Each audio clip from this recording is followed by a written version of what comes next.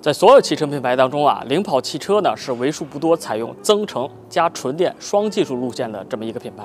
那经过多年的发展呢，也是推出了不少车型。那今天的主角呢，就是领跑汽车旗下第五款车型领跑 C 幺零。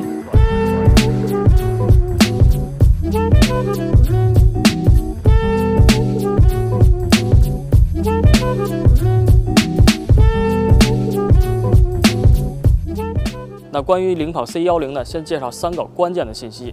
首先呢，它是基于领跑 LEAP 三点零平台打造的，集成化比较高。第二呢，就是它的定位呢，跟领跑的 C 幺幺呢是有一定区别的。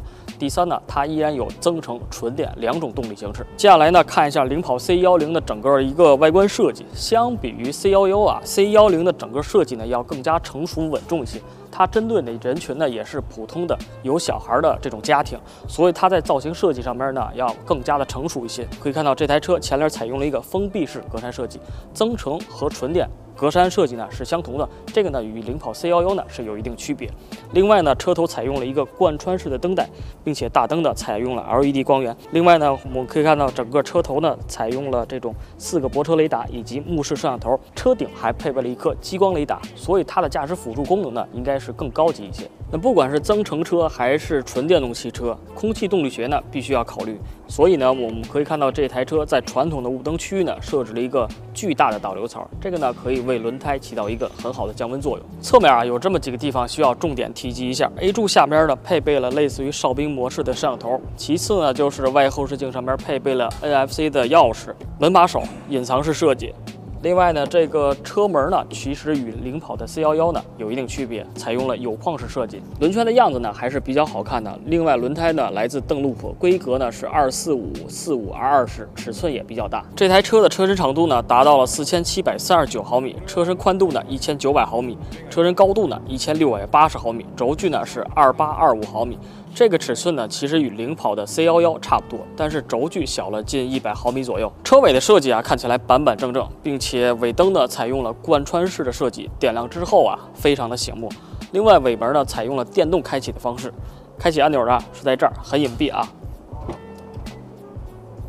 打开之后，我们可以发现尾门开启的速度以及高度呢，其实也还行。后备箱的设计呢很规整，容量呢也比较大。另外呢，第二排的靠背呢支持四六比例放倒，放倒之后呢，其实略带一定角度，但是也不影响你放大件。领跑 C 幺零整个内饰营造的氛围啊，非常的简约。全液晶仪表，中控台大屏呢也是给到，科技化氛围营造的也是相当的不错。另外，整个中控台上边的做工用料也是相当的细致。大面积采用了这种皮革覆盖，摸上去很舒服。方向盘的尺寸大小适中，并且摸上去很舒服。还有就是它支持四项可调，范围呢也是比较大，能够迎合不同身材的驾驶员。中控台下边设计呢就更加的简单了，配备了无线充电以及两个杯架，并且这个杯架带限位器，所以你放水什么的也不至于摇摇晃晃的。另外，整个座椅的舒适度，我觉得做的也是相当的出色，坐垫、靠背都很柔软，并且坐垫、靠背的材质触摸上去非常的舒服，有点像婴儿肌肤的感觉。作为一台面向家庭使用的 SUV，整个后排的空间呢也是比较大的，我们可以看到腿部空间很宽裕，头部空间也是，后排呢甚至可以轻松翘起二郎腿。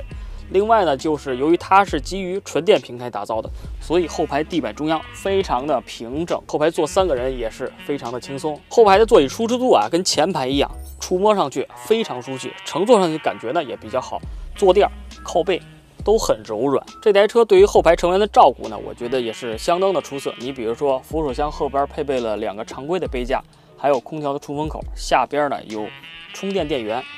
另外呢，最值得称赞的是，就是这个扶手箱后边配备了一个巨大的杯架。有小孩的家庭啊，都知道小朋友的水壶呢都比较大，所以放在这儿呢也是非常的方便。从定位来看，领跑 C 幺零呢瞄准的是年轻的家庭用户，并且针对亲子的出行的场景。那现在市面主打的亲子出行呢，只有极狐的考拉。那相比于四座的极狐考拉，这一台领跑 C 幺零是一个大五座的布局，实用性方面会更好。另外再加上增程纯电双动力的形式，给予用户更多的选择。